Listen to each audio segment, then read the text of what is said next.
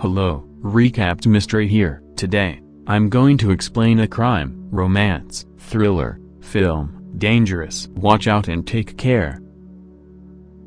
The film begins with Dylan Forrester receiving a letter from his brother. As he reads the letter, we find that his brother is on an island, which he describes as a truly beautiful place. His brother also asks him to visit the island. Dylan receives another letter the next day. This letter isn't as enjoyable as the last one. Dylan is devastated to learn that his sibling is no longer alive. As he reads the letter, he gets the feeling that someone else is in his flat he checks, and a man attacks him. Dylan is a sociopath and former assassin who is also a very deadly man. The next thing you know, the FBI is raiding his residence, and while they check around, one of the officers says, got something. They come to a man who has been bound with his hands above his head. The man is almost comatose and appears to have been severely tormented. This is the man that came earlier to murder Dylan. The police discover his antidepressant medications, which were given by Dr. Alderwood. They now know who his doctor is,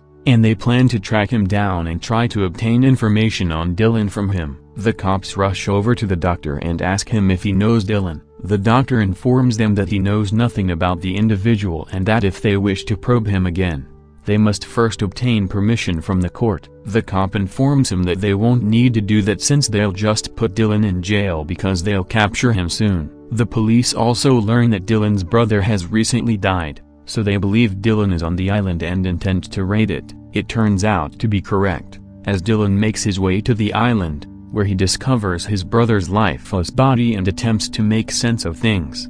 When his mother arrives, he attempts to talk to her, but she is too upset at him. His grandmother, Linda Forrester despises him because of his genuine nature. She walks out of the room without even speaking to him. This is when another female approaches Dylan who is unable to take his gaze away from his dead sibling. She feels bad for him and walks over to the bar where Linda is drinking and tells her that what she did out there with her son was wrong. Linda gets angry and asks her if she has forgotten all the trouble their family had to go through just because of Dylan. The police used to raid their house again and again because he is nothing but a dangerous criminal. Dylan's late brother's pals arrive, and when one asks the other if this is Dylan, the other confirms it. Dylan phones his doctor and informs him that he was informed that once he meets his family, everyone will welcome him with wide arms, but this has not been the case, as they refuse to even see his face. The doctor, on the other hand, tells him to keep trying to get his mother to talk to him, and he also asks him if he is hiding anything from him, to which Dylan responds that he is not. Meanwhile, Agent Shaughnessy has been trying to find Dylan for evading parole because he believes he is too dangerous. Sheriff McCoy discovers Dylan's true identity and what he is capable of. Dylan is in the room with his family, and he tries to communicate with them, telling them that he is not the same man he once was, and that he has been seeing a psychiatrist, because the sheriff has discovered that the man is a wanted fugitive. He approaches him from behind and arrests him at gunpoint. McCoy arrests him and imprisons him in the island's bunker. The sheriff informs him that he has already notified the police, and that they will arrive soon. This occurs when an outside noise is heard. Sheriff believes it is the cops, and he asks a female named Susan to keep a watch on Dylan. If he makes a move, he tells the female to shoot him immediately away. As McCoy goes outside to check, he notices a large crowd and questions why they have come in such great numbers merely to apprehend a single man. It turns out that it was not the police. Cole, a fixer, has arrived on the island with his crew of mercenaries. When McCoy points his rifle at him and demands the truth, Cole's men shoot him dead. Dylan hears the gunshot and immediately realizes that something is awry. He asks the girl to let him go because things appear to be out of hand. The girl, on the other hand, states that she will not do so. She eventually agrees to let him after some back and forth. The crew then murders another man who walks out to see what's going on. They then proceed to Dylan's bedroom. They view his pictures and remember a quarrel they previously had with him. One of the men claims to be here for his brother's burial. Cole then tells his troops that whomever is able to stop Dylan will be richly rewarded. Dylan is now inside his house he asks a family member how to secure the doors and locks all the doors. When the crew notices that all of the house's doors and windows have been shut, they begin making preparations for how to enter the residence. Dylan's mother advises him to escape because they are only there to kill him. Dylan informs them that they are there for another reason, but that he will go if they so desire. His late brother's wife approaches him and inquires whether he intends to leave. Dylan agrees and asks if she might tell him how his brother died. She tells that he was attempting to rebuild a lighthouse when he fell over and died. She then shows him a path out the back door. Dylan's family begins to plan how to inform Cole's crew that he is no longer present. Dylan, on the other hand, goes to the shore and notices that some of the crew members are removing a machine from the boat. Meanwhile, Dylan's family hangs a large billboard on the wall that reads, Dylan is gone. When a crew member recognizes Dylan, they immediately begin firing at him he just manages to run to a boat and escape the attack. They believe Dylan has left and that there is no one standing in their way. But this does not turn out to be the case, as Dylan returns to the island from the other side without them noticing.